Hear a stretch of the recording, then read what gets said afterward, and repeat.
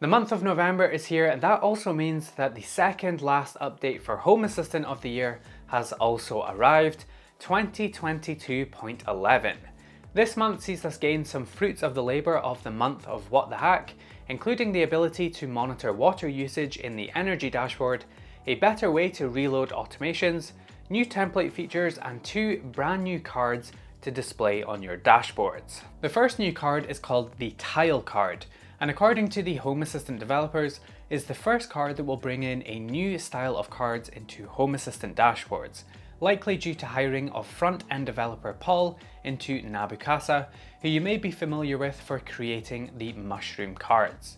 The tile card is pretty much an upgrade of the entities card, giving you a quick overview of your devices and entities at a glance.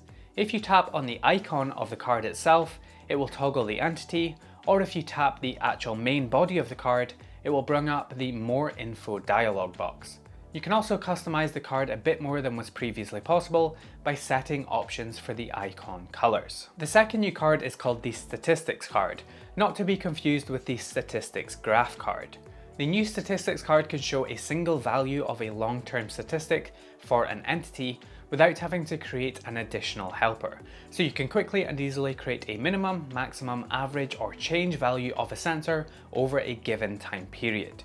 Very useful if you want to quickly glance at an entity to get a meaningful value without having to create an additional entity or helper. Next up, a much requested feature during month of What the Heck, with more than 370 votes on this one particular feature, the ability to track water usage inside of Home Assistant. The energy dashboard already provides the ability to track different energy usage, including grid power, solar and gas. So adding water consumption in here was the obvious play and it looks fantastic.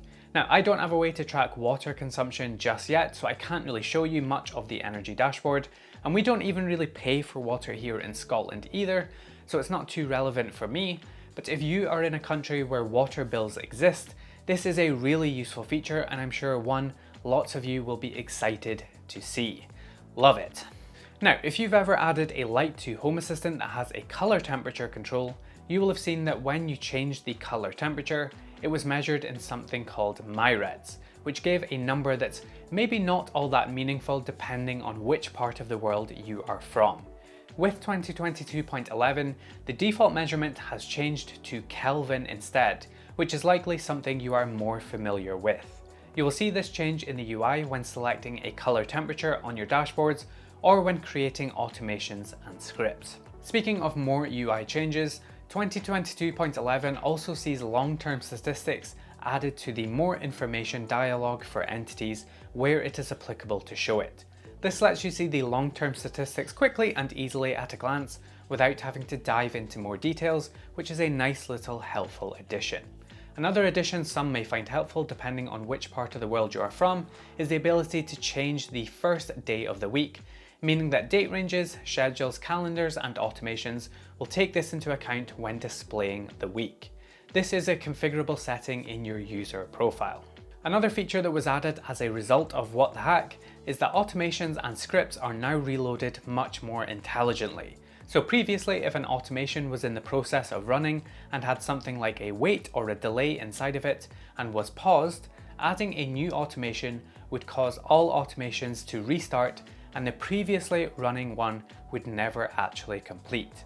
Well, now with 2022.11, adding new automations or changing existing ones either through the UI or YAML will only cause the changed ones to be reloaded, with anything else unchanged to be left as is, meaning that any longer running automations should be left untouched.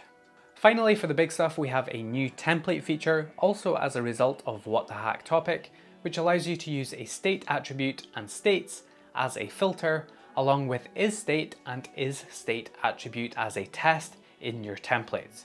You can also add a default value to the average function, and finally there is a new method allowing you to look up native IDs of entities.